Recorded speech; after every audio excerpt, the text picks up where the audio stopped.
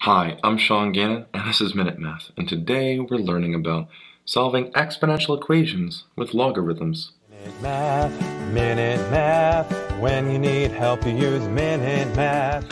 We're given this problem right here, 5 times 6 to the 3m power, and that's equal to 20, and we had to solve this.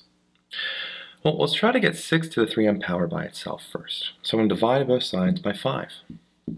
5's cancel on the left, giving us 6 to the 3m power.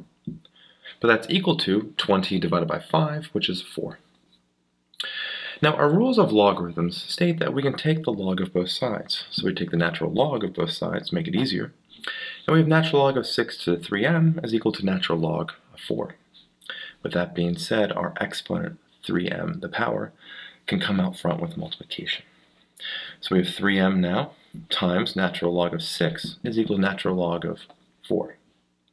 From there, divide both sides by natural log of 6. Natural log of 6 cancels, and we're left with 3m is equal to natural log of 4 over natural log of 6.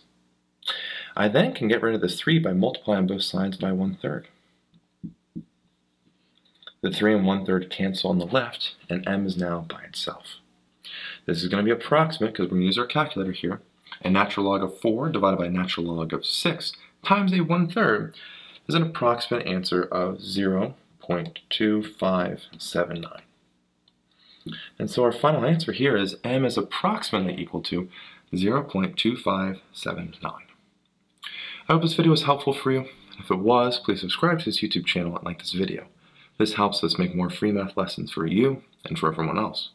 So as always, thanks for watching. Minute Math, Minute Math, when you need help you use Minute Math.